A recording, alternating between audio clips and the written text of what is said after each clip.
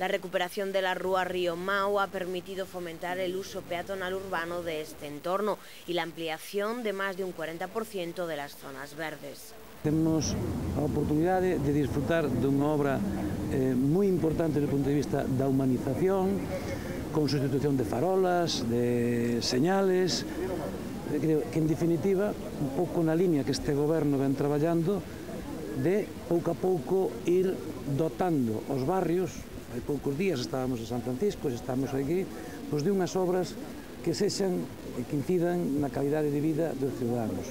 La obra ha supuesto una inversión de más de 900.000 euros, fruto de un convenio firmado entre el Concello y el anterior Gobierno de la Junta.